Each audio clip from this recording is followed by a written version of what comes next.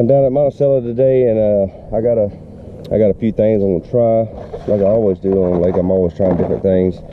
Uh, of course today I'm gonna try out I don't know if you've ever heard of the uh, Nichols jigging spoon two ounce jigging spoon. So stay tuned.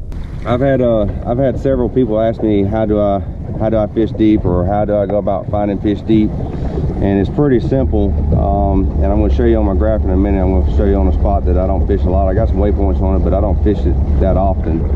Um, what i do typically is um, i go out after i launch my boat and i just pull away from the ramp and uh, i may uh, look at the ramp or drive somewhere nearby where i'm going to be fishing and and i get in deep water and i just try to get an idea where the shad are, shad are.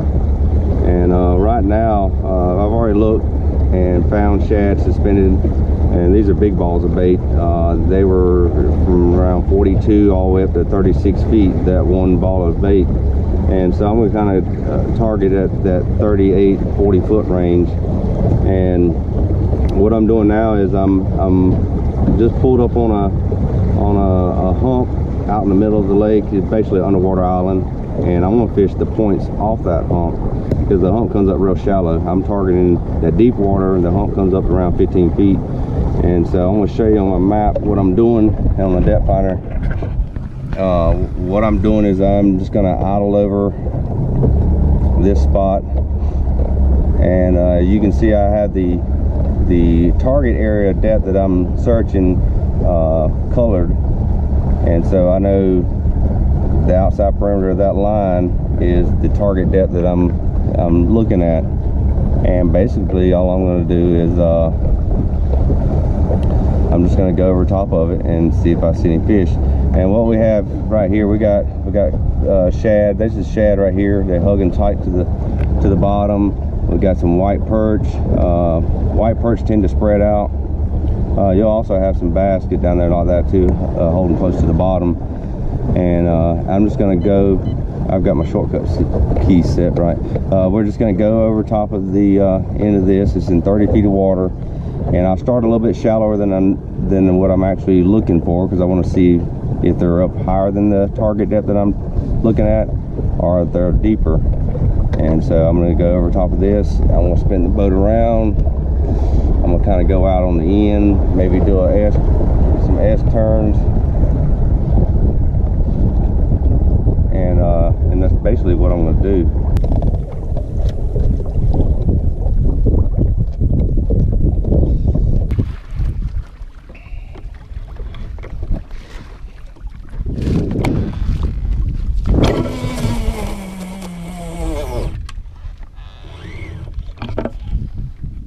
Spoon and took all my braid off the damn reel. I think it's down there quick too. That's what I like about it. You know, the bass like a flutter spoon. I like fishing with a flutter spoon, but what I like about this two ounce jigging spoon is it gets down quick, and that's what the bass really actually are wanting right now. Um, I, I thought that it might have been the size of the spoon, so I started throwing a little jigging spoon, and then I quickly realized it was not the size because I went down to a smaller flutter spoon, and it wasn't that. It's the the fast fall of that uh, that jigging spoon gets it more of a reaction strike than the flutter spoon that falls a lot slower. And I'm using this two ounce spoon. I will typically throw a spoon on a on monofilament or a Izorline, which is a uh, monofilament with a fluorocarbon coating. It's a copolymer. And um, but uh, I usually throw it on a monofilament or a copolymer line, but because I'm using this heavy jigging spoon, it, you got so much stretch out there so far, and I'm fishing 40 foot of water, 35 to 40 foot of water. It's so hard, it falls so fast, it's hard to keep up with it with a controlled slack, and uh, just a lot of stretch in it when I'm pulling it back up. So what I'm doing is, what I'm doing is I'm throwing it on braid with a 20 pound leader monofilament uh, big game. So I got a swivel tied on. Here's what I got. I've got I've got a swivel tied on on my braid, 65 pound Power Pro with a 25 uh, with a 20 pound monofilament hooked to my Nichols jigging spoon. And um, what I like. And it seems to be working. But of course, I may change after I use it a lot longer. I've only started using this recently.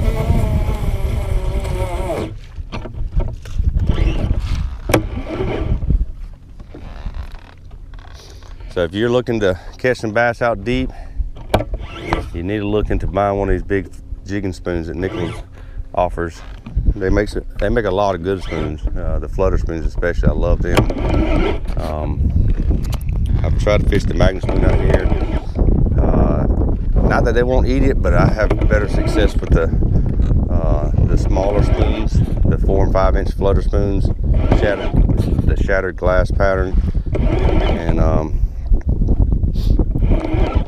and then, uh, of course, I got the new mini mag spoons. And I'm gonna be trying them some, but it's almost too late for that here. Right now, these bass are start off with a crankbait. You know, they move out deep right after the spawn, and uh, you know, when I say deep, this lake's a real deep fishing lake. I, you know, like some lakes deep might be 10 feet, 15 feet. This lake is, start talking deep, you're talking 20 feet and beyond.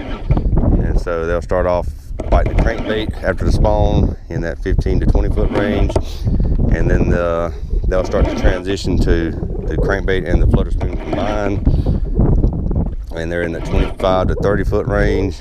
And then they start moving out to that 30 to 40 foot range and the flutter spoon bite starts to disappear. And they want that jigging spoon, but they still want to present it sideways, you know, hopping it off the bottom back toward the boat. And then they get in that 45 to 55 foot range, which is what's going to happen in about another couple weeks to a month.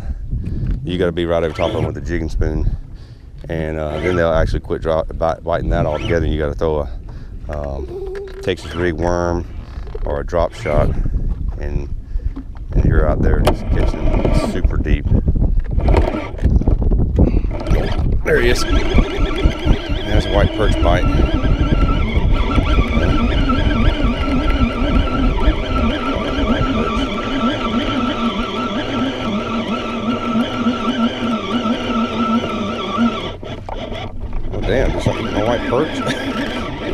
Fighting real hard.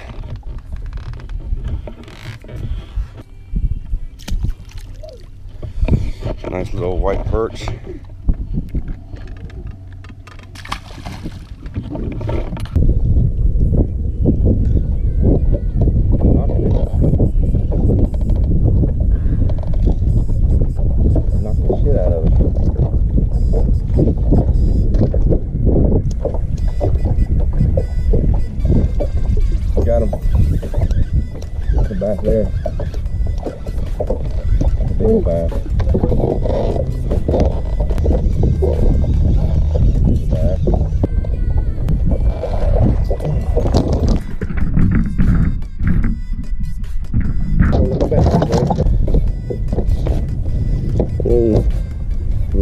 Magnum jigging spoon on the jigging spoon. Old tub. Old tub.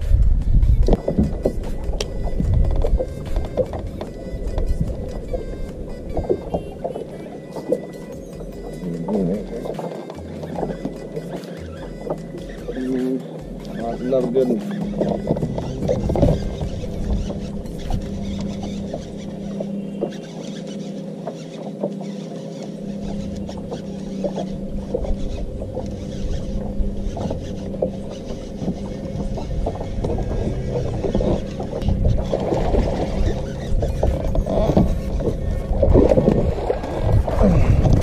That big old tub.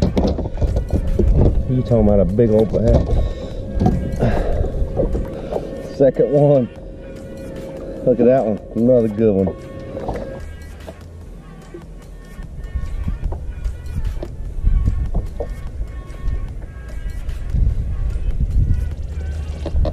Got him.